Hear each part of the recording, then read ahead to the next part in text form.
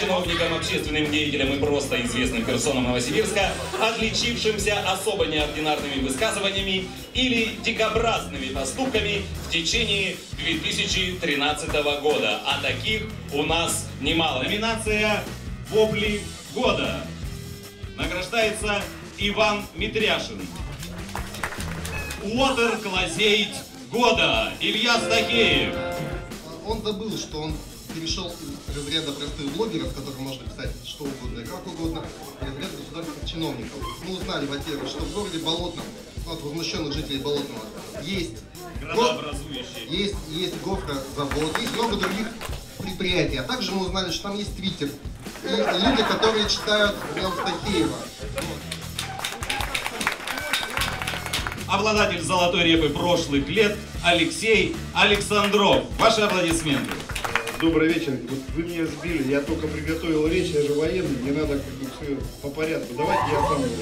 Я целый год купался в лучах славы. И э, когда мне подошел один из э, репортеров и спросил, а вот вы кому бы еще дали реп? Он, когда я посмотрел, сколько народу пришло, и практически каждого знаю, я бы практически каждому дал репу. И есть за что.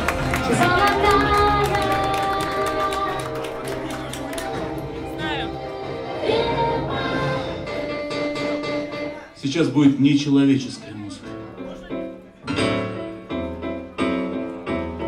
Водка настоящая.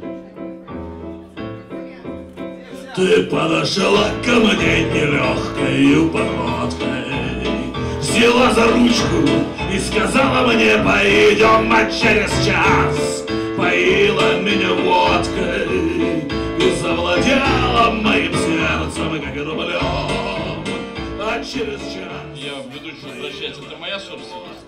Да, это ваша, Тогда, абсолютно тогда дайте, ваша верните мне мою собственность, которую в прошлом году вручали. Я просто не знал.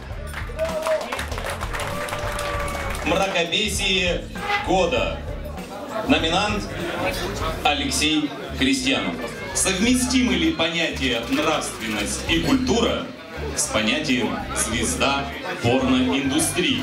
Она приедет э, в Новосибирск по визе, э, по творческой визе, по рабочей визе и будет здесь работать, мы с удовольствием э,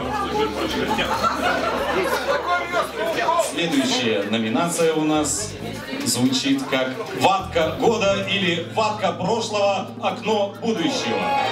Награждается Александр Морсин. Ваши аплодисменты.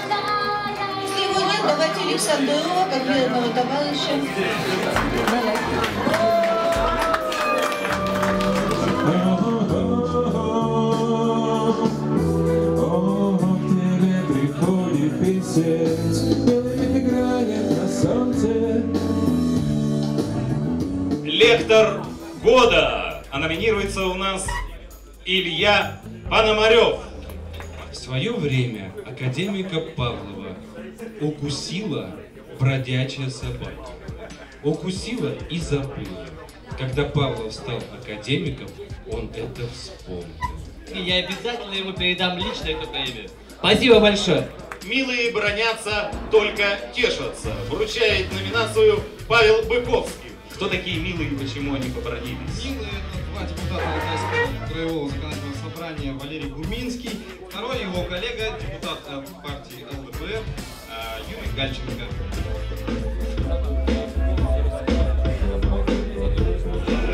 Душу открой, удиви этот мир. Счастье выпусти, как птицы с клеток. И улыбайся. I work all night, I work all day to have a I have to pay.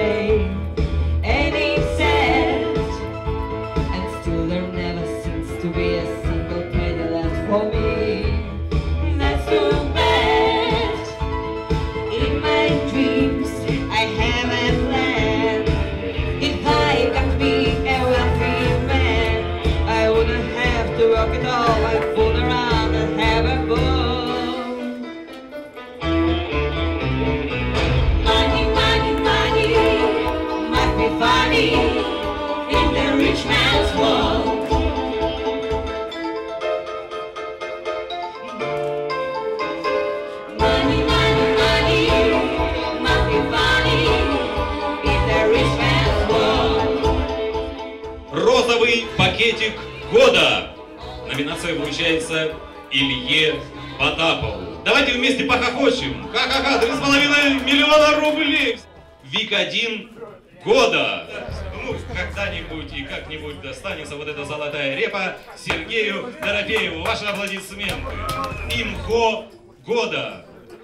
А, Этот человек известен нам как депутат, как э, общественный деятель, как э, директор завода ЖБИ, прости господи. Короче, Николай Андреевич Мочалин побеждает в номинации МХО года. Человек, который до сих пор не завел себе аватарку. Я не буду отдавать депутату. Александрову, потому что депутат Александров в прошлом году забрал для Мочалина и для Умирбаева и не отдал. Я приглашаю на эту сцену заслуженного узника аэропорта Толмачева Сергея Паука Троицкого. Ваши аплодисменты.